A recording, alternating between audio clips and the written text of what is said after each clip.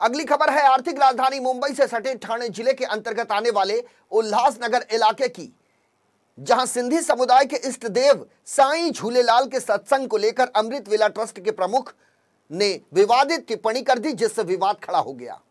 इस मामले को लेकर सिंधी समुदाय आक्रोशित हो उठा है। नाराज़ सिंधी समुदाय के प्रतिनिधिमंडल ने पुलिस उपायुक्त प्रशांत मोहिते से मुलाकात की और इस दौरान संस्था के खिलाफ कार्रवाई करने की मांग करते हुए सिंधी समुदाय के लोगों ने डीसीपी को एक लिखित ज्ञापन भी सौंपा है।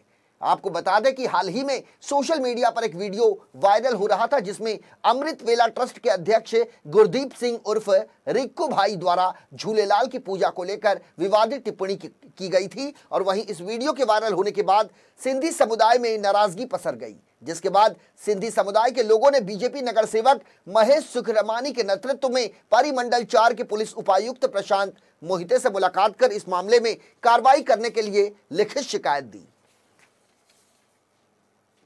जो सत्संग में रिंकू भाई साहब ने सिंधी समाज के इष्ट देव झूलेलाल साईं के लिए जो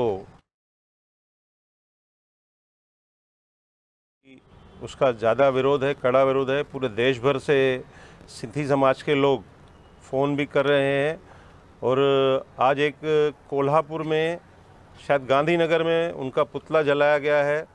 उल्लासनगर में भी सिंधी समाज में बहुत ही रोष है। आज सभी संस्थाओं ने मिलकर डीसीपी साहब को निवेदन किया, उनको किस धारा के तहत उनके ऊपर एफआईआर दर्ज करनी चाहिए।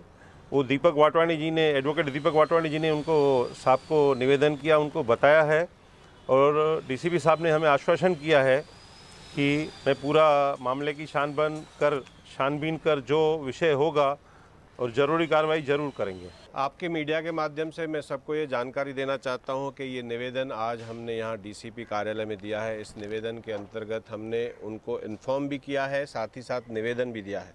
इन्फॉर्म किया है कि सोशल मीडिया पे रिंकू भाई साहब ने जो सिंधी समाज के पूजा करने के तरीके में जो टिप्पणी की है, वो हमको बिल्कुल हम उसका बहिष्कार करते हैं।